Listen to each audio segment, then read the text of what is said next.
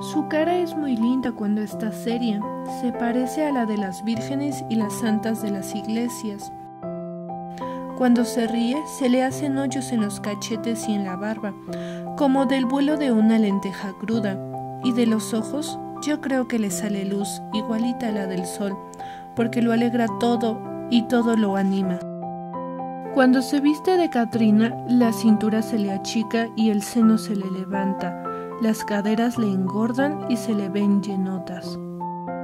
Las piernas son muy bonitas, delgadas al comenzar y luego, yendo para arriba, gordas. Hasta ahí le he visto.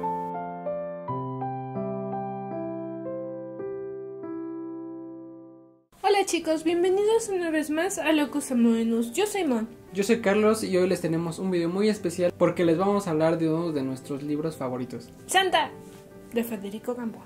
Federico Gamboa fue un escritor mexicano que además de novela escribió artículos y teatro. Eh, La novela Santa se fue publicada en 1903. Esta novela se puede abordar desde muchos puntos de vista, pero nosotros vamos a enfocarnos. En los que más nos gustaron. Exacto.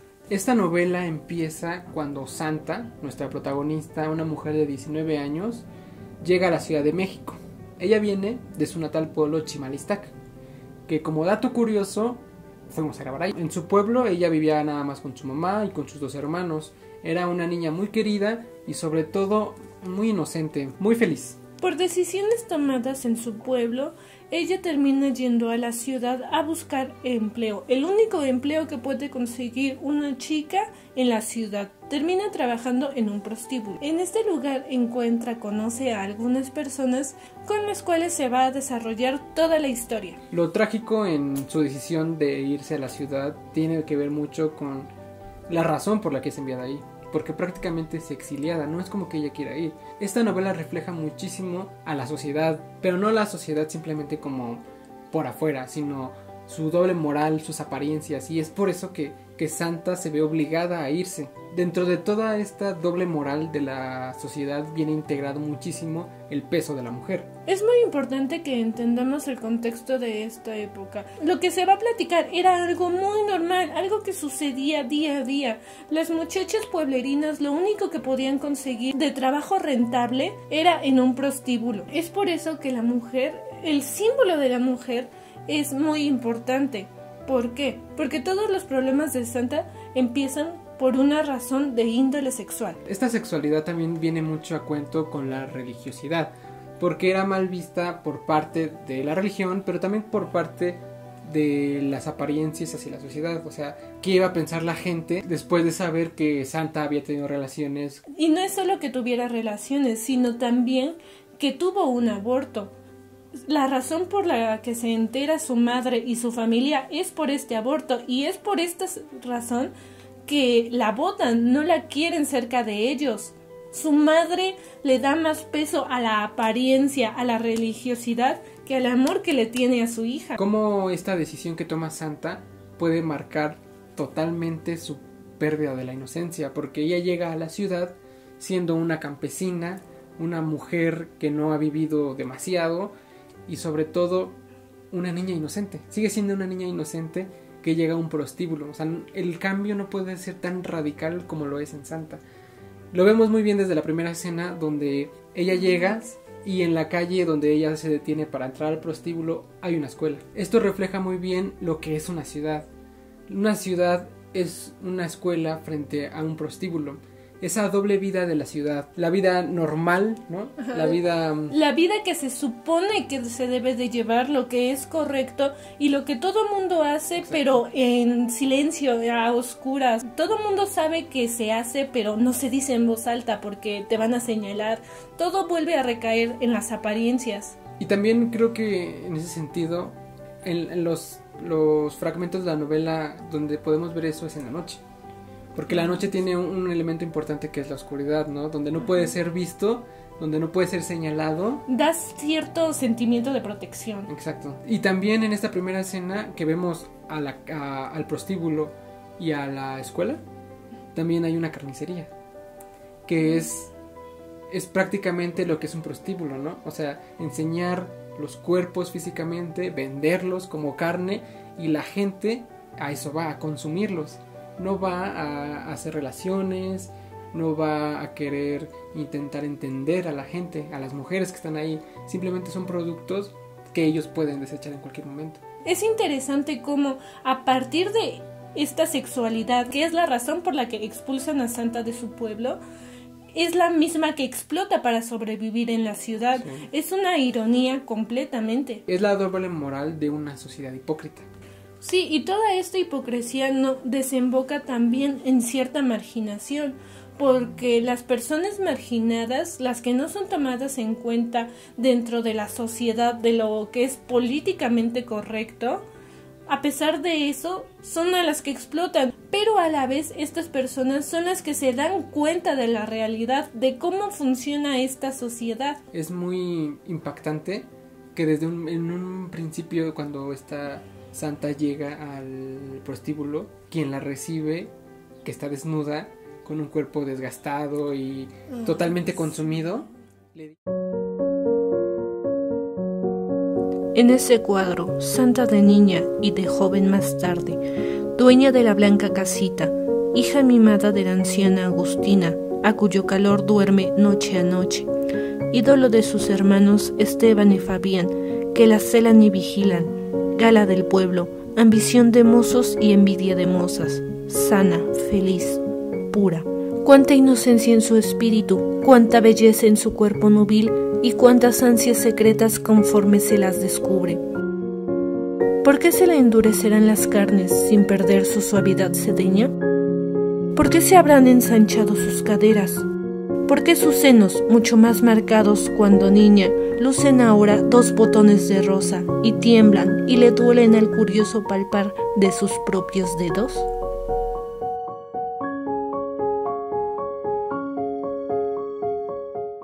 Otro de los aspectos muy importantes en esta novela es la ciudad, porque no es solamente un espacio para que los personajes se desarrollen, sino que pareciera que es un personaje más, porque influye e incide en lo que les va a pasar a los mismos personajes, principalmente a Santa. También tenemos a Hipólito y a Genaro, que son muy parecidos entre ellos, como decías, son marginados.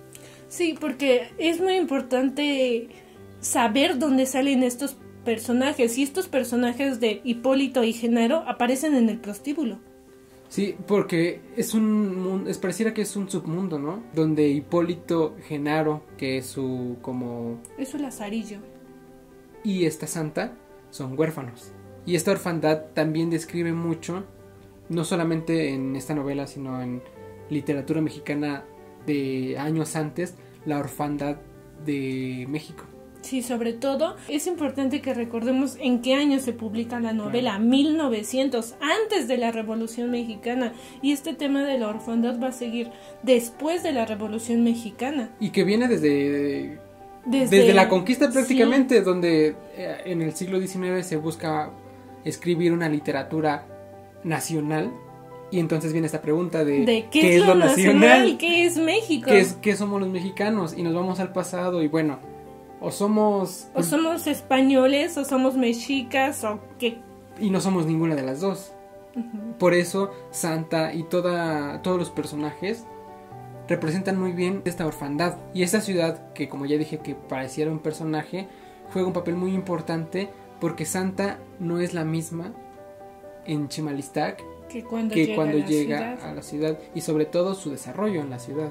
Pero lo interesante de Santa es que es un personaje multifacético, porque hay momentos donde puedes llegar a compadecerla, a llorar todo lo que le ha pasado. no sé. Muy triste. Pero hay momentos donde no puedes estar de acuerdo con las cosas que hace. Donde Por ejemplo, con el jarameño. Con el jarameño cuando decide irse y pareciera que su vida se ha arreglado. Tiene cierta protección, calidez de hogar que anteriormente había tenido en Chimalistac, no del mismo modo. Y que muchos buscaban, muchas buscaban, muchas de la, del prostíbulo quisieran salir de ahí. Exactamente. Y ella cuando sale y pensamos que todo va a estar bien, da esta da esta sorpresa de rechaza esa como esa salida, ¿no? Ah, exactamente. Pero yo digo que después de que Santa vive en un prostíbulo donde prácticamente es un objeto para los hombres, y después de toda esta como realidad, como golpe de realidad, no sé, o sea, intento no juzgar tanto a Santa después de lo que hizo.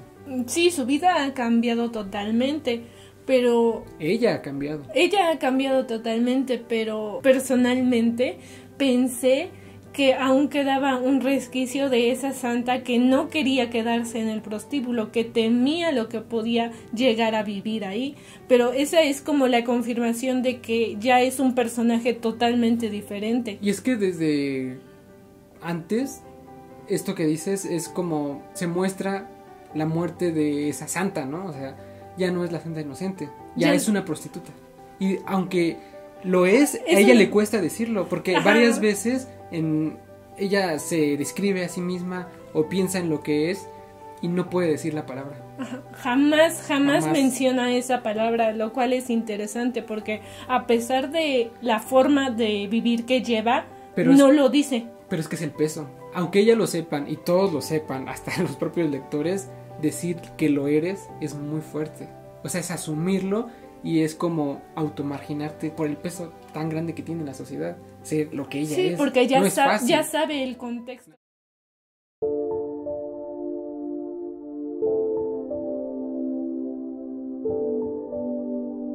Fue una lucha corta, de gente vulgar que no ahonda teologías, sino que se deja conducir por su instinto. Y su instinto sugeríale a Santa el encaminarse a un templo, encender un cirio por el alma de la afinada, orar por su descanso eterno, cuanto recordaba que es de rigor ejecutar por los muertos. ¡A la calle! ¡A la calle!